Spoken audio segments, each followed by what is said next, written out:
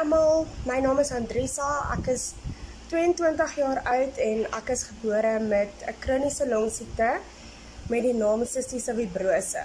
So ek wil julle vandag net bietjie meer vertel wat sistiek is en wat behels my daaglikse rotine. So ek was gediagnoseer met sistiek toe ek 9 maande oud was nadat my ma van die begin af geweet het daar is iets fout met my. maar die dokters kon nie vasstel wat fout is nie. En hulle het net vir gesê, "Ag, weet jy wat? Dis nie so erg as jou eerste kind. Jy verbeel maar net jouself." So totdat ek nie meer of ek kon nie so skryp op die regte spesifieke tyd nie wat ek moes nie. My kos het nie verteer nie. Ek het nie geslaap in die aande nie. Ehm um, Ja. En ek het net die hele tyd gehuil.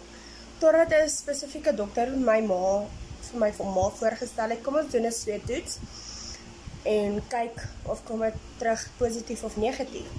Die sweettoets is gedoen en toe was ek gediagnoseer met sistiek op 9 maande oud. En wat hulle eintlik ook vir my ma gesê het is jou kind kan enige, enige tyd doodgaan.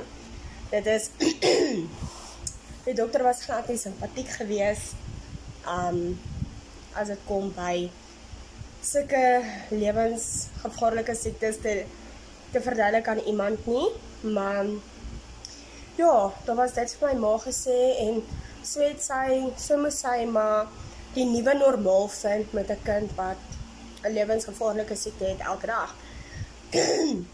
Um so my lewe met sistiek behels Ek word wakker in die oggend. Die eerste ding wat ek doen is nebulize. Nebulize is um ek stoom medisyne wat wat na my longe toe gaan. So eerste ding wat ek nebulize is Dulen. Oh, dis son. Is Dulen. en Dulen word gebruik om jou longe oop te maak. Um wat asma asma mense ook mag gebruik as hulle longe toetrek en so aan en dan dan um, doen ek my physio ook en ek nebulize gentamicin wat wat nou weer antibiotika is um, vir die longe om my inflammasie onder beheer te hou.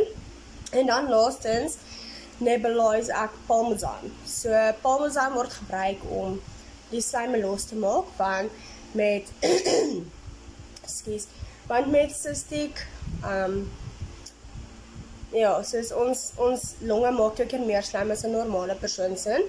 En soms is dit maar triekie om al daai goed uit te kry soos jy moet. En Parmesan maak dit net beter sodat die slijme nie daar hoef of daar vassit in jou longe en infeksie veroorsaak en inflammasie nie. So en dis punt nommer 1. Op die stadium betaal my medies um hulle betaal nie die hele bedrag van Palmzam nie. Um Palmzam is plus minus 6000 7000 rand.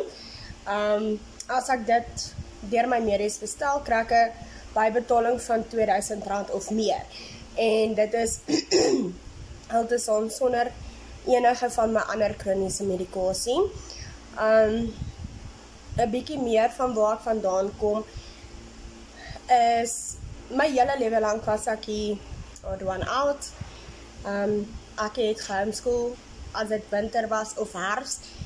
Um vanaf laerskool. So die kinders het ook al geweet soos ja, ek is net somer en en en spring daar by die skool en dan vir twee kwartaale sien hulle my nie. So ja, dit het my aan die gang gehou. Um die rede hoekom my ma dit gedoen het is ek het 'n baie swak immuunstelsel wat veroorsaak dat ek ja, soos al die kieme op daar waar, waar En dan wil ek net sê my 5 jaar plan is ek wil graag powerlifting doen. Um ek het vir myself goals gestel met hierdie lockdown ek ek was altyd teen oefeninge. My vriende het my verduidelik hoe amazing hulle voel en hoe dit hulle longe help en alles, maar ek was altyd soos, "Ag, oh, ek nie energie nie." um ek is te moeg, wat ook al. Totdat ek weer een oggend opgestaan het en gesê, "Weet jy wat, vandag begin ek oefen." En dis al 'n maand en ek is al sterker wat ek kan agterkom en ek voel net so amazing en bonus punt is dit help met my fisio ook. So ja, dit is dit is een van hulle en dan wil ek graag my eie besigheid begin aan um, wat ek ook uit die hospitaal uit kan doen of ran of enigiets as dit tot daai punt kom.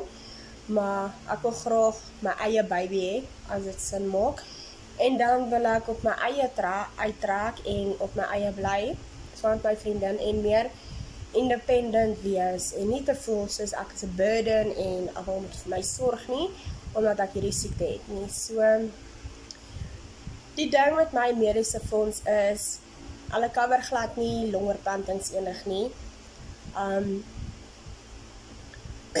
ek kan op my ma se medies bly waar ek nou is tot en met 25. Um en die ding is ek moet op Discovery Medies gaan wat basically amper die hoogste plan is om longerplantings te dek en dan om vir al my medikasies te betaal en my physio, dietitian, biometrikus, almal in die hospitaal wat wat ek moet sien wat hulle dit sal betaal. So op die stadium is dit geld wat ek nie het nie maar dit is ook iets waar, waarvoor ek brood soos wat ek regtig nodig het om die lewe vir my gemakliker te maak en nie te stres oor wie gaan hulle nie betaal nie, wie gaan hulle betaal en net as ek in die hospitaal is met 'n geruste hart dan toe te gaan en te weet ek kan almal sien wie ek moet sien sonder om vir hulle te sê my medies betaal hulle nie want